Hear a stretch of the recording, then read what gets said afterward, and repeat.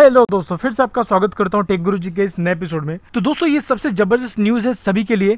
जी हाँ दोस्तों, अब फ्री में आपको मिलेगा जियो स्मार्टफ़ोन तो दोस्तों, आपको बता दूँ कि रिलायंस इंडस्ट्री की सालाना आम बैठक में मुकेश अंबानी ने देश में सबसे सस्ते 4G फीचर फ़ोन को लॉन्च कर दिया है और इसका नाम जियो फ़ोन रखा गया है।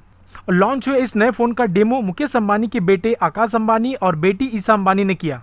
और ये फ़ोन पूरी तरीके से मेड इन इंडिया है। इस फ़ोन को फ्री में लॉन्च किया है। हालाँकि इसके लिए ग्राहकों को पंद्रह सौ रुपये की सिक्योरिटी राशि देनी पड़ेगी, जो कि तीन साल बाद यूज़र्स को वापस दे दिया जाएगा। इस फ़ोन को 24 अगस्त से प्री ऑर्डर किया जा सकता है। इसके लिए यूज़र्स को जियो स्टोर पर जाना होगा। इसके बाद सितंबर से फ़ोन मिलना शुरू हो जाएगा। दोस्तों, अगर इस फ़ोन की खासियत की मैं बात करूँ तो अगर ग्राहक इस फ़ोन को खरीदते हैं तो उन्हें लाइफ टाइम तक वॉइस कॉलिंग फ्री मिलेगा। ये सबसे बड़ी बात है। यूज़र्स को सिर्फ़ डेटा के ही पैसे देने होंगे।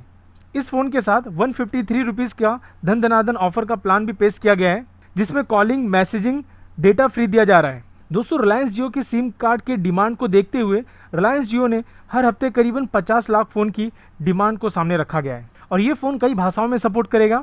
आकाश अंबानी ने इस फ़ोन के मैसेजिंग और कॉलिंग का डेमो दिखाया। जैसे ही फ़ोन रिस्टार्ट हुआ, वहाँ पे सबसे पहले वंदे मातरम का गाना बजा।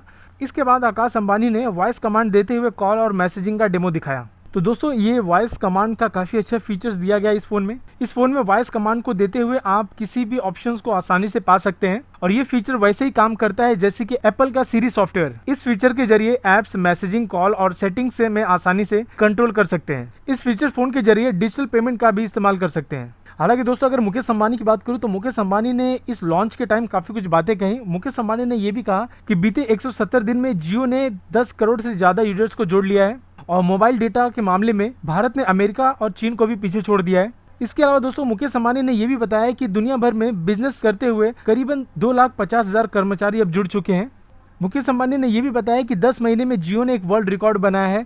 इसके अलावा जियो दुनिया में सबसे तेज, तेज़ी से बढ़ने वाला नेटवर्क बन चुका है और जियो में हर सेकंड करीबन सात ग्राहक जुड़ते हैं। मुकेश अंबानी ने यह भी बात कही कि आने वाले समय में जियो निन्यानवे परसेंट जनसंख्या का कनेक्टिविटी पहुंचाएगा।